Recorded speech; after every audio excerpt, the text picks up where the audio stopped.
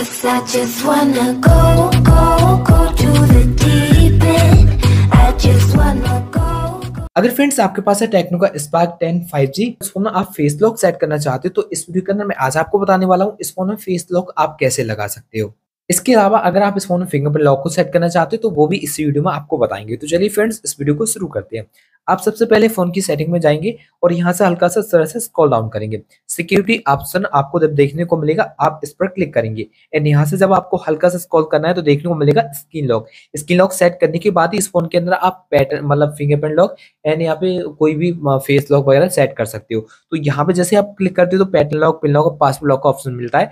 Screen lock के लिए आप क्या लगाना चाहते हो, वो सेलेक्ट कर सकते हो। मैंने पैटर्न लॉक को सेलेक्ट किया सेलेक्ट कर लीजिए, जो भी आपको सेलेक्ट करना है और पैटर्न वगैरह जो भी आप डालना चाहते हो स्क्रीन लॉक के लिए वो आप सेट कर सकते हो। एंड यहाँ पे कन्फर्म कर दीजिए और यहाँ डन कीजिए। डन करने के बाद अब आपको इस फ़ोन में फेस लॉक सेट करना है तो फेस अनलॉक वाले ऑप्शन पर क्लिक करना होगा। और जो भी स्क्रीन लॉक का आपने लॉक डाला था, वो आपको डालना पड़ेगा। एंड यहाँ पे फेस इनलॉक पर जब क्लिक करते हैं तो यहाँ पाँच सेकंड आपको वेट करना है। वेट करने के बाद आपको नेक्स्ट का ऑप्शन देखने को मिल जाएगा। जैसे आप इस पर क्लिक करते हो तो फ्रंट कैमरा आपका ओपन हो जाता है। अब क्या करना है फ्रेंड्स यहाँ पे अपना फेस इसको दिखा देना है।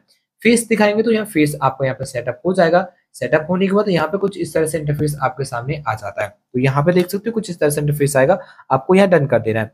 अब आप देखोगे स्क्रीन लॉक को अनलॉक करते हुए तो यहाँ पे आपका फेस अनलॉक होना शुरू हो चुका है। तो इस तरह से आप स्क्रीन लॉक इस फ़ोन में फेस लॉक के अंदर लगा सकते हो।